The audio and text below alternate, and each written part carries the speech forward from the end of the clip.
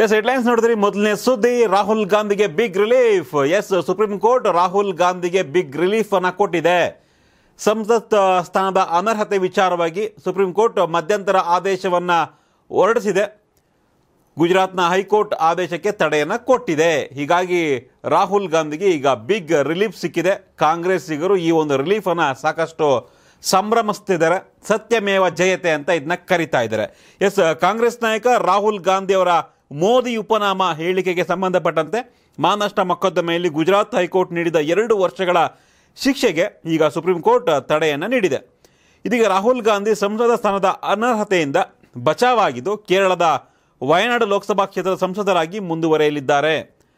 ಪ್ರಕರಣ ಸಂಬಂಧ ಗುಜರಾತ್ ಹೈಕೋರ್ಟ್ ನೀಡಿದ್ದ ಶಿಕ್ಷೆಗೆ ತಡೆ ಕೋರಿ ರಾಹುಲ್ ಗಾಂಧಿ ಅವರು ಸುಪ್ರೀಂ ಕೋರ್ಟ್ನಲ್ಲಿ ಮೇಲ್ಮನವಿ ಅರ್ಜಿಯನ್ನು ಹಾಕಿದರು. ಮೋದಿ ಉಪನಾಮ ಟೀಕೆಗೆ ಸಂಬಂಧಪಟ್ಟಂತೆ ಮಾನಷ್ಟ ಮೊಕದ್ದಮೆಯಲ್ಲಿ ಶಿಕ್ಷೆಯನ್ನು ತಡೆ ಹಿಡಿಯಲು ನಿರಾಕರಿಸಿತ್ತು ಗುಜರಾತ್ ಹೈಕೋರ್ಟ್.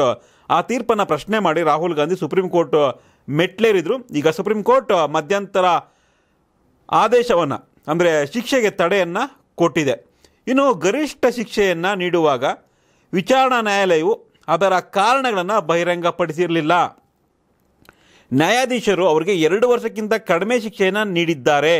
ವಯನಾಡು ಸಂಸದರಾಗಿ ಅನರ್ಹರ ಅನರ್ಹಗೊಳಿಸೋದಕ್ಕೆ ಕಾರಣವಾದ ಜನಪ್ರತಿನಿಧಿ ಕಾಯ್ದೆಯ ಸೆಕ್ಷನ್ ಎಂಟು ಮೂರರ ನಿಬಂಧನೆಗಳು ಅನ್ವಯಿಸ್ತಾ ಇರಲಿಲ್ಲ.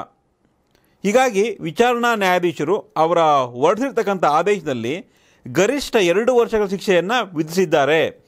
ವಿಚಾರಣಾ ನ್ಯಾಯಾಧೀಶರು ಎರಡು ವರ್ಷಗಳ ಶಿಕ್ಷೆ, ಗರಿಷ್ಠ ಶಿಕ್ಷೆಯನ್ನು ಯಾಕೆ ವಿಧಿಸಿದ್ದಾರೆ ಅನ್ನೋದಕ್ಕೆ ಬೇರೆ ಯಾವುದೇ ಕಾರಣವನ್ನು ಅವರು ನೀಡಿಲ್ಲ. ಎರಡು ವರ್ಷಗಳ ಗರಿಷ್ಠ ಶಿಕ್ಷೆಯಲ್ಲಿ ಮಾತ್ರ ಜನಪ್ರತಿನಿಧಿಯ ಕಾಯ್ದೆಯ ಸೆಕ್ಷನ್ ಎಂಟು ಮೂರರ ನಿಬಂಧನೆಗಳು ಕಾರ್ಯರೂಪಕ್ಕೆ ಬರುತ್ತವೆ ಅನ್ನೋದನ್ನ ಗಮನಿಸಬೇಕು.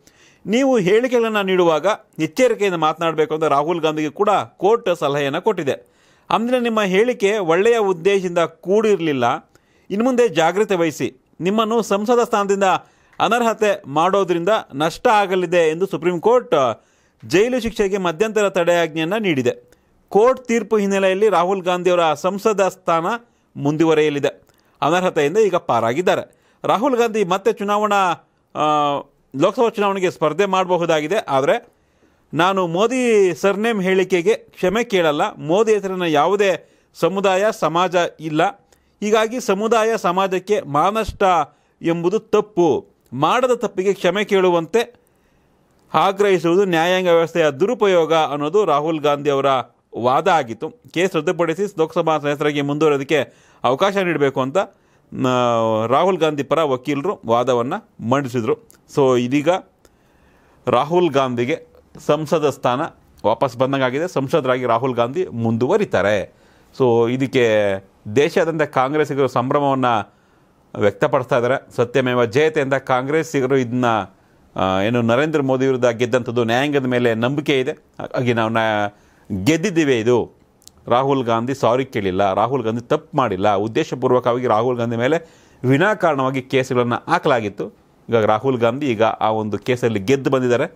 ರಾಹುಲ್ ಗಾಂಧಿ ಸಂಸದರಾಗಿ ಮುಂದುವರಿತಾರೆ. ಎಸ್, ರಾಹುಲ್ ಗಾಂಧಿ ಇದ್ರ ಬಗ್ಗೆ ಏನು ಹೇಳಿದ್ದಾರೆ? ಮುಂದೆ ನೋಡೋಣ, ಮುಂದಿನ ಸುದ್ದಿಯಲ್ಲಿ.